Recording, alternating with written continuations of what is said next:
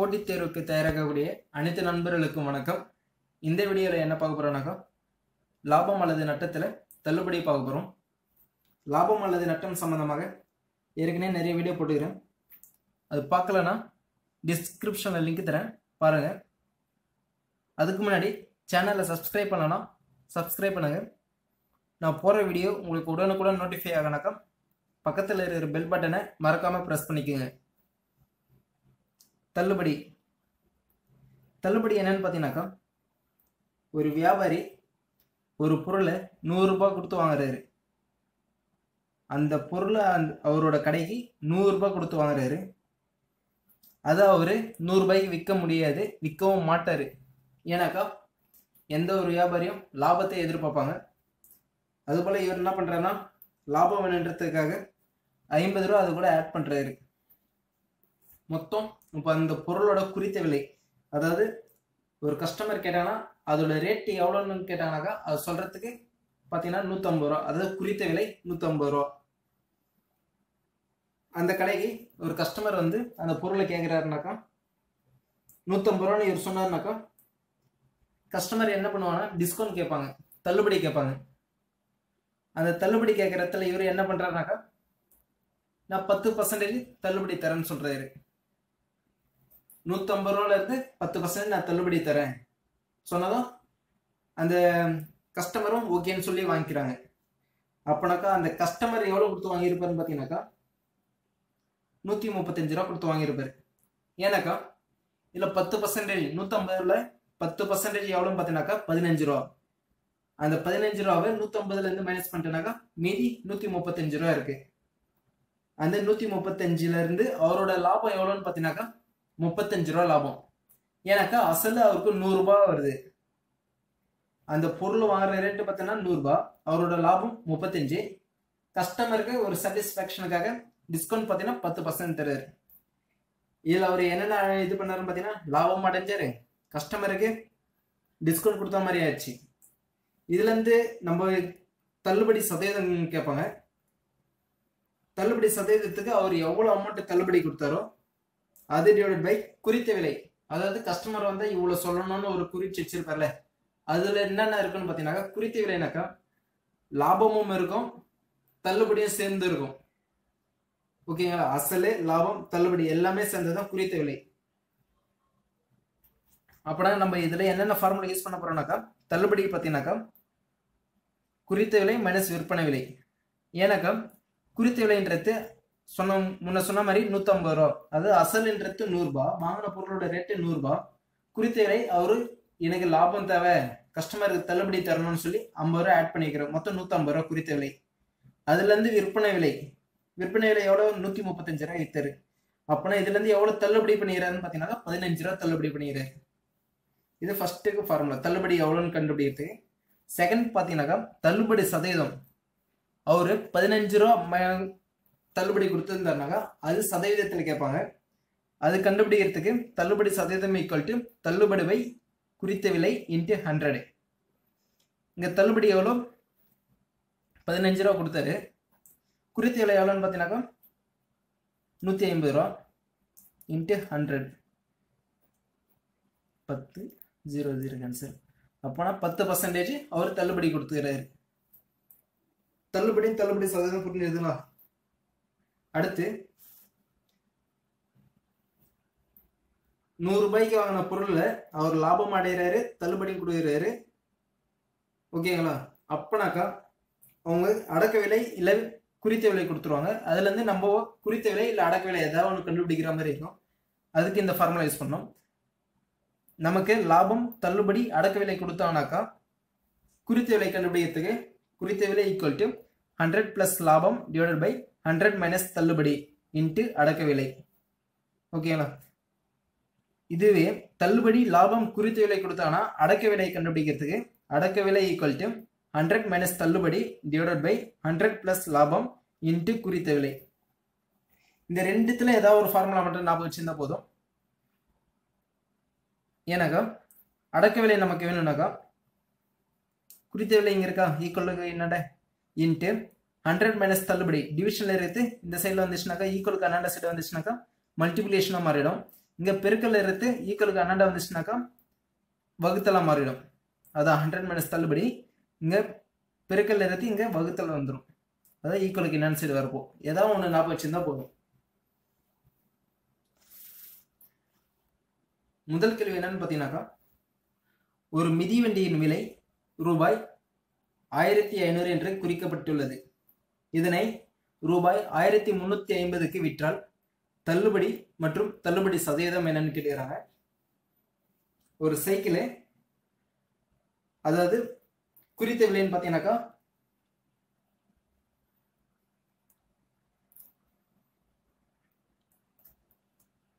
ஆயிரத்தி ஐநூறு ரூபாய் குறித்த விலை. இதை விற்ற விலை எவ்வளோன்னு பார்த்தீங்கன்னாக்கா ஆயிரத்தி முந்நூற்றி ஐம்பது ரூபா. இதுலேருந்து என்னென்ன கேட்குறான்னு பார்த்தீங்கன்னாக்கா தள்ளுபடி தள்ளுபடி சதவீதம். தள்ளுபடிக்கு என்ன ஃபார்முலான்னு பார்த்தீங்கன்னாக்கா குறித்த விலை மைனஸ் விற்ற விலை. அப்புறம் குறித்த விலை இங்கே எவ்வளோன்னு பார்த்தீங்கன்னாக்கா ஆயிரத்தி ஐநூறு. விற்ற விலை பார்த்தீங்கன்னா ஆயிரத்தி முந்நூற்றி ஐம்பது. அப்போனா தள்ளுபடி எவ்வளோன்னு பார்த்தீங்கன்னாக்கா ஆயிரத்தி ஐநூறுலேருந்து ஆயிரத்தி முந்நூற்றி ஐம்பது போச்சுனாக்கா? நூற்றம்பது ரூபா தள்ளுபடி கொடுத்துக்கிறாரு அடுத்து என்ன கேட்குறாங்கன்னா தள்ளுபடி சதவீதம் கேட்குறாங்க தள்ளுபடி சதவீதத்துக்கு ஃபார்முலா இருக்கு. சதவீதம் ஈக்குவல் டு தள்ளுபடி டிவைடட் பை குறித்த விலை இன்ட்டு ஹண்ட்ரட் எவ்வளோ தள்ளுபடி பண்ணிடுறாருனாக்கா நூற்றம்பது ரூபா தள்ளுபடி பண்ணிக்கிறாரு. குறித்த விலை எவ்வளோன்னு பார்த்தீங்கன்னாக்கா? ஆயிரத்தி ஐநூறு.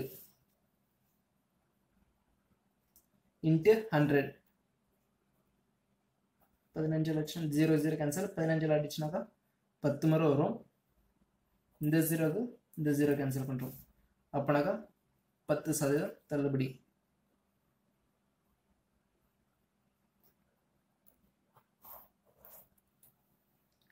குறித்த விலை கொடுத்துக்கிறாங்க விற்ற விலை கொடுத்துக்கிறாங்க. அதுல இருந்து தள்ளுபடியும் தள்ளுபடி சதவீதமும் கண்டுபிடிச்சிட்டோம். ஓகேங்களா?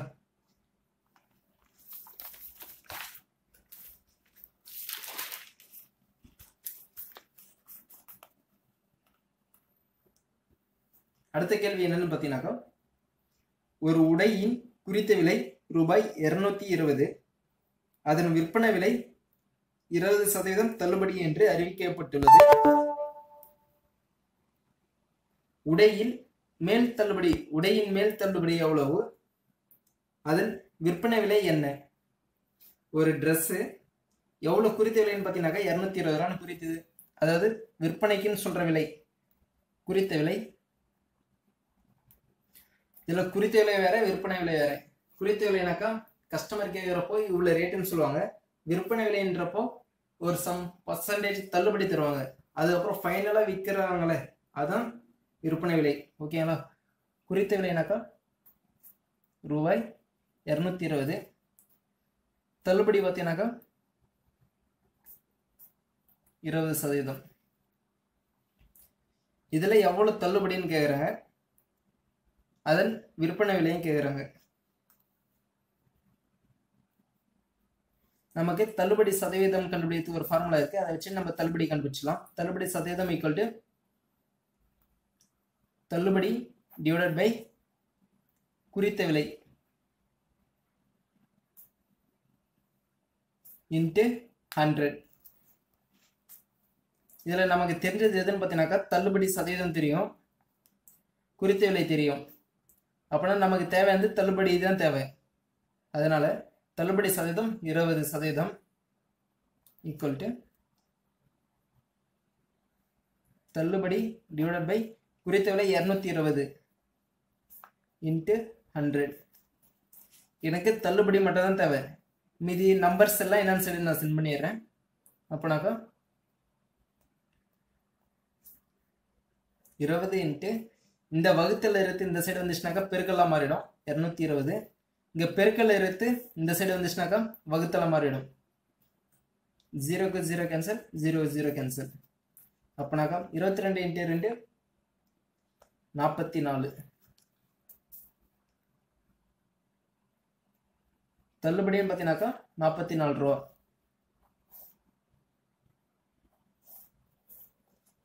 அதுக்கப்புறம் என்ன கேட்குறானாக்கா தள்ளுபடி கண்டுபிடிச்சாச்சு. விற்பனை விலைன்னு எவ்வளோ கேட்குறாங்க தள்ளுபடி இருபது சதவீதம் அதாவது நாற்பத்தி நாலு ரூபா கொடுத்தாக்கா விற்பனை விலை எவ்வளோன்னு கேட்டீங்கன்னாக்கா குறித்த விலையிலேருந்து தள்ளுபடி மைனஸ் பண்ணிட்டேனாக்கா விற்பனை விலை கிடைச்சிடும் குறித்த விலை எவ்வளோன்னு பார்த்தீங்கன்னாக்கா இரநூத்தி இருபது ரூபா. அப்போனா தள்ளுபடி ஃபார்முலா இருக்கு. குறித்த விலை மைனஸ் விற்பனை விலை. இதுல இருந்து நமக்கு விற்பனை விலை தான் தேவை. அப்படின்னா தள்ளுபடி பார்த்தோன்னா நாற்பத்தி நாலு ரூபா.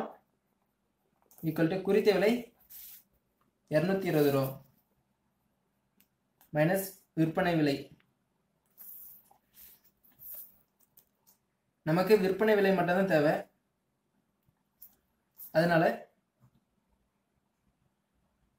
விற்பனை விலை இந்த சைடு சென்ட் பண்ணிடுறேன். இந்த நாற்பத்தி நாலு இந்த சைடு சென்ட் பண்ணிடுறேன்.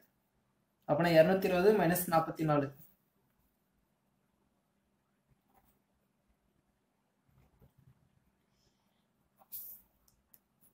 ரூபாய் நூற்றி எழுபத்தாறு விற்பனை விலை. ஒரு ட்ரெஸ்ஸு இரநூத்தி இருபது ரூபா குறித்த விலைன்னு சொல்கிறாங்க அதோட விற்பனை விலையில் டுவெண்ட்டி பர்சன்டேஜ் டிஸ்கவுண்ட் இருக்குன்னு சொல்கிறாங்க அப்படின்னாக்கா அதோட தள்ளுபடி எவ்வளோ? தள்ளுபடி இவ்வளோ கொடுத்தா அதோட விற்பனை விலை எவ்வளோன்னு கேட்டாங்க. அதன்படி நமக்கு ஃபார்முலா பார்த்தீங்கன்னாக்கா தள்ளுபடி சதவீதம் ஈக்குவல் டு தள்ளுபடி விலை குறித்த விலை இன்ட்டு ஹண்ட்ரடு அதுலேருந்து நம்ம தள்ளுபடி மட்டும் தான் தேவை. ஆனால் தள்ளுபடி மட்டும் கண்டுபிடிச்சோம். எவ்வளோன்னு பார்த்தீங்கன்னா நாற்பத்தி நாலு ரூபாய். இப்போ குறி நமக்கு குறித்த விலை இருக்கு தள்ளுபடி இருக்கு. இதை வச்சு விற்பனை விலையை கண்டுபிடிக்கலாம். ஏன்னா விற்பனை விலையை அவங்க கேட்டுக்கிறாங்க. அதனால விற்பனை விலை கண்டுபிடிக்கிறோம். அப்புறம் இரநூத்தி இருபது மைனஸ் நாற்பத்தி நாலு நூற்றி எழுபத்தாறு ரூபாய்.